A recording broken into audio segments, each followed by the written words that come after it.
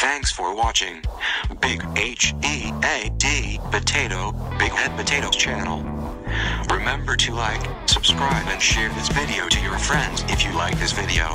Your support is appreciated. Hope to see you on next videos. Cheers.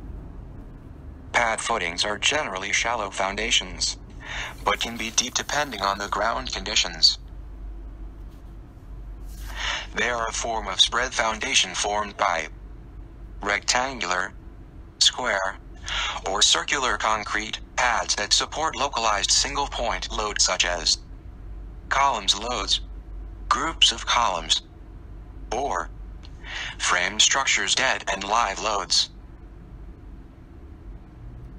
Pad footings are shallow foundation that take and spread point loads to the soil safely.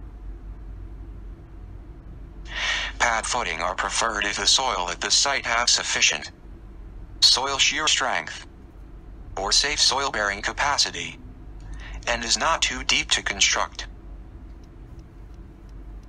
For low-rise buildings, it is generally recommended to limit the overall depth of a pad footing to 1.2 meter from ground level, excluded the ground beam depth.